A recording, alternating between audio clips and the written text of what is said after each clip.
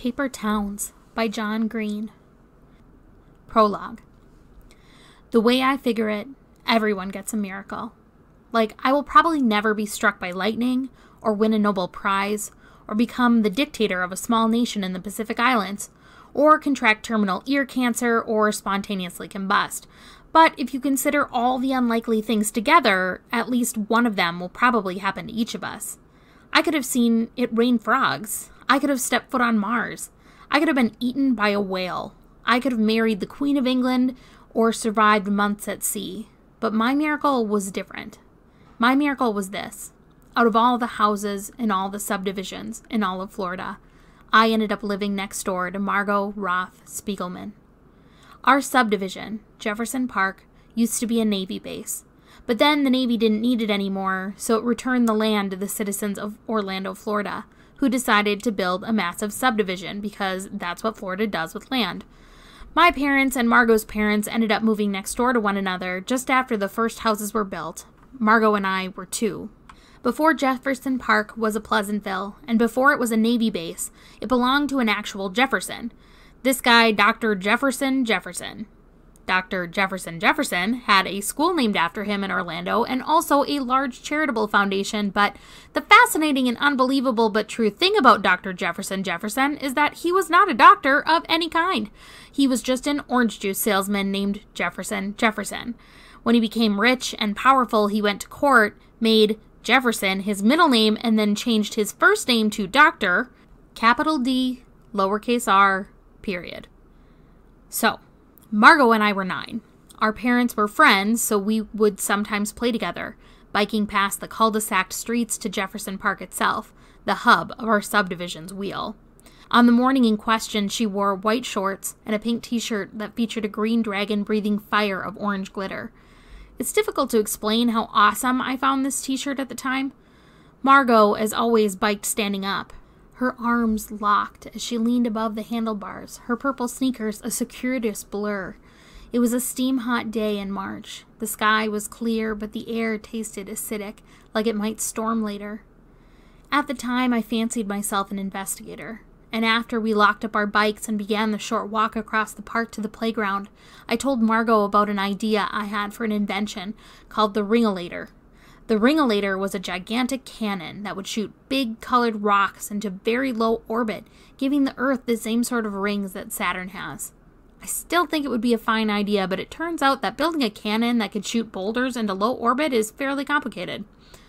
I'd been in this park so many times before it was mapped in my mind, so we were only a few steps inside when I began to sense the world was out of order, even though I couldn't immediately figure out what was different.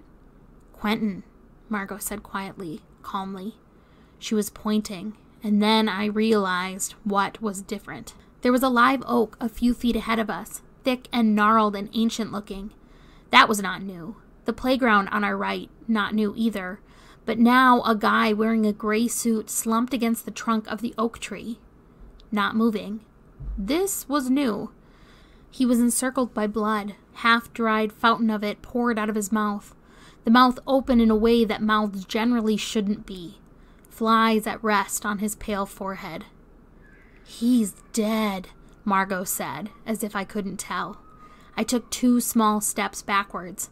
I remember thinking that if I made any sudden movements, he might wake up and attack me. Maybe he was a zombie.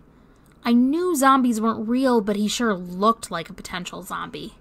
As I took those two steps back, Margot took two equally small and quiet steps forward. His eyes are open, she said. We gotta go home, I said. I thought you closed your eyes when you died, she said. Margot, we gotta go home and tell! She took another step. She was close enough now to reach out and touch his foot. What do you think happened to him? she asked. Maybe it was drugs or something. I didn't want to leave Margot alone with the dead guy who might be an attack zombie, but I also didn't care to stand around and chat about the circumstances of his demise. I gathered my courage and stepped forward to take her hand. Margot, we gotta go right now. Okay, yeah, she said. We ran to our bikes, my stomach churning with something that felt exactly like excitement, but wasn't.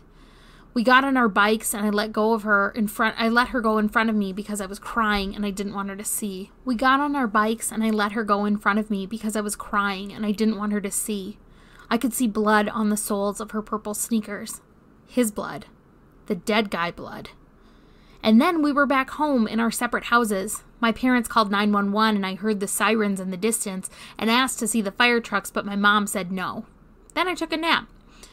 Both my parents are therapists, which means that I am really goddamn well adjusted. So when I woke up, I had a long conversation with my mom about the cycle of life and how death is part of life, but not a part of life that I needed to be particularly concerned about at the age of nine, and I felt better. Honestly, I never worried about it much, which is saying something because I can do some worrying. Here's the thing I found a dead guy Little adorable nine year old me and my even littler and more adorable playmate found a guy with blood pouring out of his mouth, and that blood was on her little adorable sneakers as we biked home.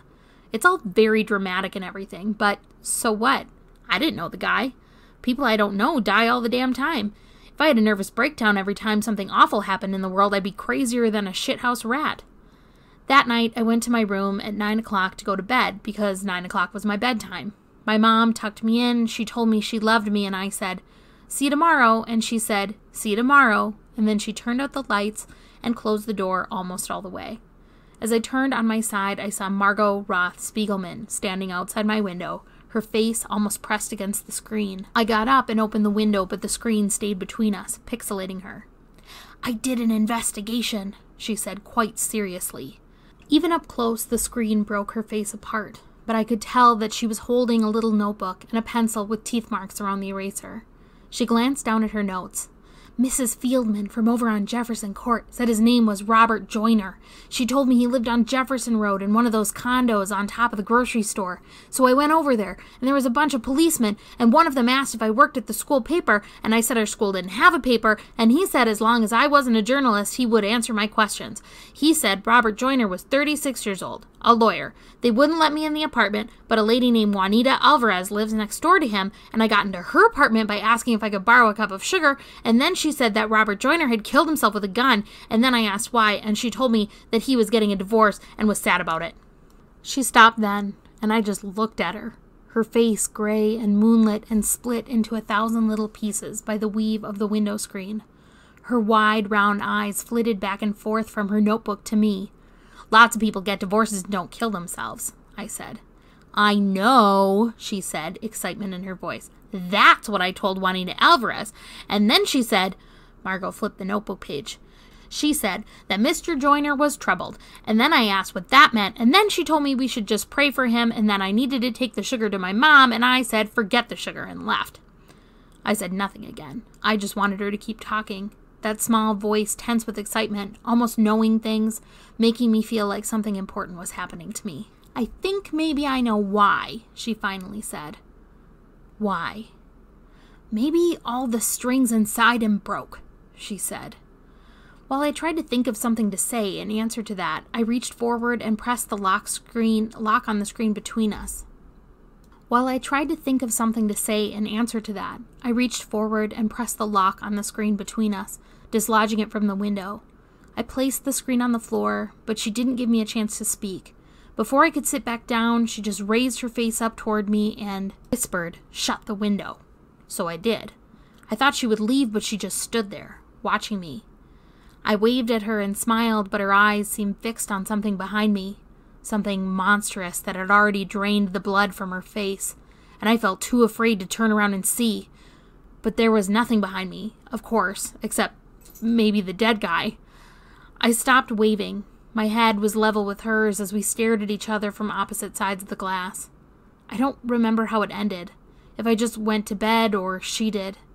In my memory, it doesn't end. We just stay there, looking at each other forever. Margot always loved mysteries, and in everything that came afterward, I could never stop thinking that maybe she loved mysteries so much that she became one.